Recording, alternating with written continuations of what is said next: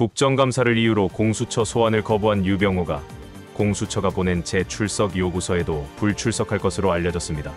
공수처가 체포영장을 언급하지 않는다면 유병호는 계속해서 소환에 불응할 것입니다.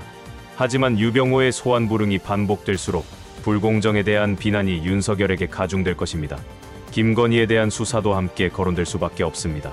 소환에 응해도 소환에 응하지 않아도 윤석열에게는 모두 악재입니다. 12월이 되면 초대 공수처장의 임기가 끝납니다. 사실상 아무것도 하지 않아서 아무 일도 일어날 수 없었던 공수처입니다. 공수처가 위상을 가질 마지막 기회를 잡았습니다. 새색시 수줍음 같은 모습으로 이대로 기회를 날려버릴지 대한민국에 꼭 필요한 조직으로 거듭날지 지켜볼 일입니다. 대통령실에서는 재미있는 모습이 연출되고 있습니다. 자녀 학폭 문제로 대통령실 의전 비서관이 매우 급하게 잘렸습니다.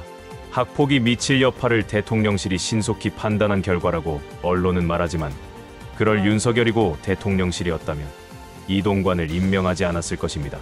영상 속의 사진은 학폭이 불거지자 비서관 부인이 SNS에 올린 사진입니다. 우리가 이런 사람이다. 건들지 말고 알아서 잘 정리해라 라는 협박과 같은 모습입니다. 3개월 전에 발생한 학폭 대응 과정을 대통령실이 몰랐을 리 없지만 문제 삼지 않았습니다. 그런데 갑자기 3개월이 지난 지금에 누군가 학폭 문제를 민주당에 제보하고 국정감사장에서 이 문제가 터져 나왔습니다. 그리고 기다렸다는 듯이 매우 신속하게 의전 비서관이 대통령실에서 정리되었습니다.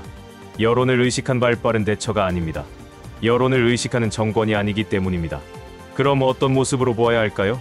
잘려나간 의전 비서관은 김건희 최측근입니다. 국정감사장에서 문제가 불거지자 대통령실은 신속하게 의전 비서관을 정리했습니다. 대통령의 의중이나 김건희의 의중을 기다리지 않았습니다.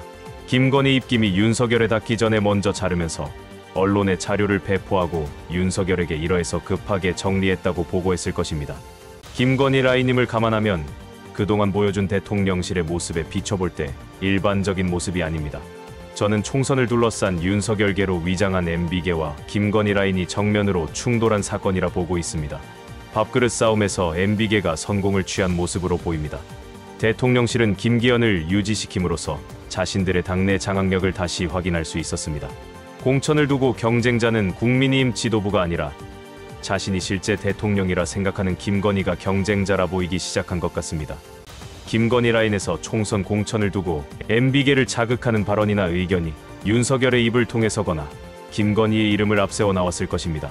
당선될 자리는 한정되어 있는데 대통령실에 욕심내는 사람이 많은 상태인 것입니다. 대통령실 MB계 입장은 명확합니다. 얼마 전 강승규 시민사회 수석의 녹취록이 나왔습니다. 김건희가 부각되면 총선에서 망할 수 있으니 누구를 자제시켜달라 그렇게 말했는데 강승규는 대표적인 MB계 인사입니다. 최근 김건희는 토요일 일요일 빼고 모든 외부 일정이 잡혀 있을 정도로 싸돌아다니고 있습니다. 어찌 보면 총선의 킹메이커 박근혜가 보여준 모습을 흉내내는 그런 모습인데 MB계가 보기에 참으로 철딱선이 없는 모습으로 보였을 것입니다.